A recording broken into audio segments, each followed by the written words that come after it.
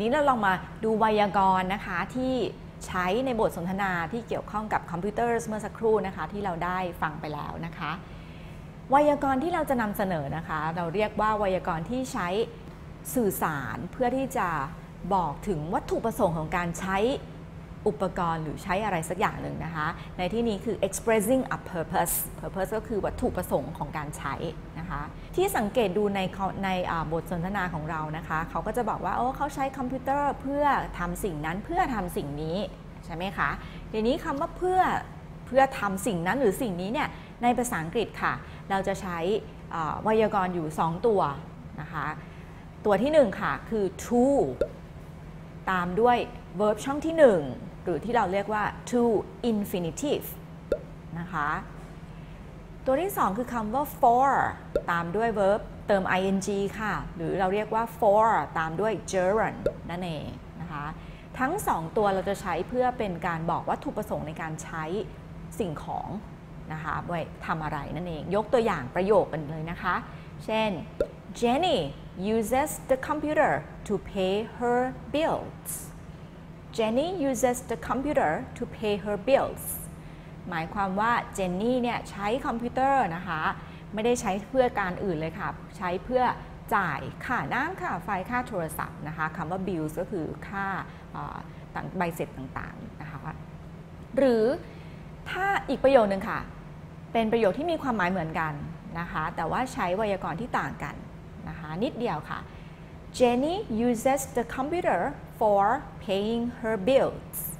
Jenny uses the computer for paying her bills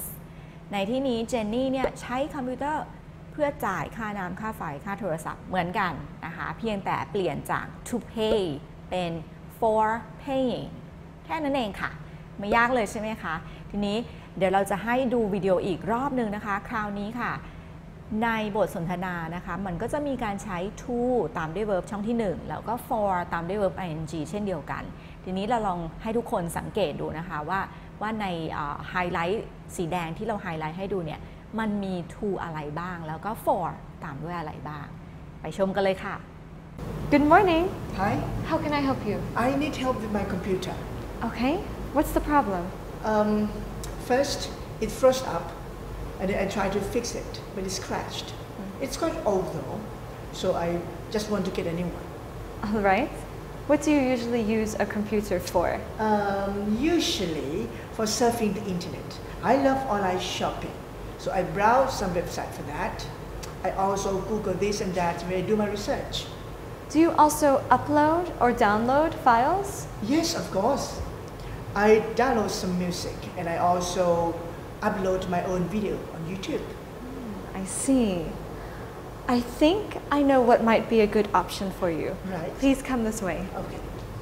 This computer might be a good option for you. Okay. It's a new model and you can do a lot of things with it. You can use it to browse, surf,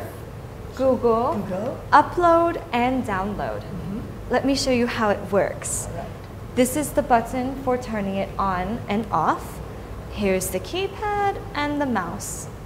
It's quite simple to use. Wow, it is a very good computer. Anyway, are there any offers from the store if you want to buy it? Sure, we are going to install complimentary software Uh-huh. and an antivirus program for you. Alright. Great. I think I'll take this one. Thank you very much for your help. My pleasure. Please wait here. Okay. ค่ะ เมื่อสักครู่นะคะ ถ้าสังเกตดูนะคะ มีคำว่า to บวก verb ช่องหนึ่งใช่ไหมคะ แล้วก็มีคำว่า for บวก verb ing หรือตามด้วย gerund นั่นเองนะคะ ทีนี้เราลองมาดูพร้อมๆ กันอีกรอบหนึ่งค่ะ ว่าในบทสนทนาเนี่ยมันแปลว่าอะไรนะคะ ตัวที่หนึ่งค่ะที่เราเห็นเลยนะคะ เมื่ออผู้ชายคนนั้นนะคะ อธิบายว่า it's quite old though so I just want to get a new one คะเป็นการบอกวัตถุประสงค์ค่ะว่าอยากที่จะได้คอมพิวเตอร์เครื่องใหม่ค่ะ to get a new one นะคะ to get a new one นะคะเนื่องจากเครื่องเก่าเนี้ยมันก็พังแล้วเหมือนที่บอกใช่ไหมคะ ดังนั้นคำที่หนึ่งคือคำว่า to get นะคะใช้ to ตามด้วย get ช่องที่หนึ่งนั่นเองนะคะ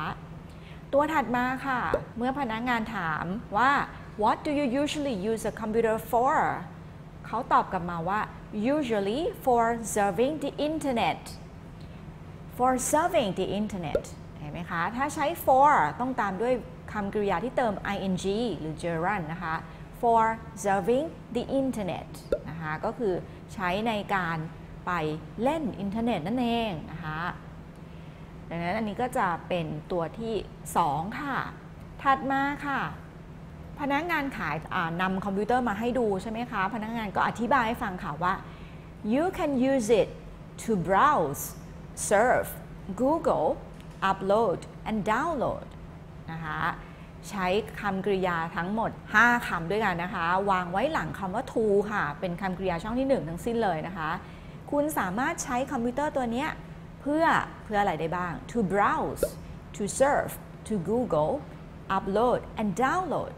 ทีนี้ถ้าเกิดว่าเป็นคำกริยาที่วางติดติดกัน 5 ตัวแบบนี้นะคะ เราไม่จำเป็นต้องใช้คำว่า to ซ้ำค่ะ เราใช้ to วางไว้ตัวหน้าตัวเดียวได้ในกรณีนี้นะคะ ก็จะใช้ to แล้วก็ตามด้วยคำกริยาช่องที่ 1 เลยนะคะ เป็น to browse surf Google upload and download ค่ะ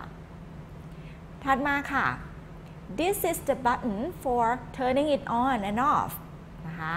คำว่า for เหมือนเดิมค่ะ ตามด้วย verb ing นะคะ for turning it on ก็คือ พื่อใช้ในการเปิดนะคะ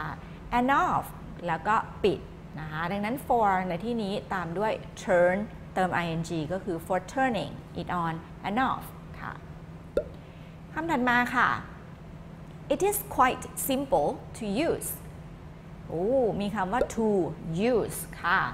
use เป็นคำกริยาช่องที่หนึ่งนะคะ it's quite simple to use ก็คือมันง่ายมากเลยที่จะ นะคะใช้คอมพิวเตอร์ตัวนี้นั่นเองเอาละค่ะ ก็จะมีทั้ง to ตามด้วย verb ช่องที่ 1 และ for ตามด้วย verb ช่องที่ 1 ค่ะ สรุปแล้วนะคะ ในบทสนทนานี้มันก็จะมีคำว่า to อยู่ทั้งหมดประมาณ 7 คำด้วยกันนะคะ ก็จะมีคำว่า to get to browse surf Google upload download แล้วก็คำว่า to use ค่ะ ส่วน for ตามด้วย verb ing เนี่ยนะคะก็จะมีอยู่ 2 คำด้วยกันค่ะ คือคำว่า for serving the internet นะคะแล้วก็ for turning it on and off ค่ะนะคะเอาละค่ะ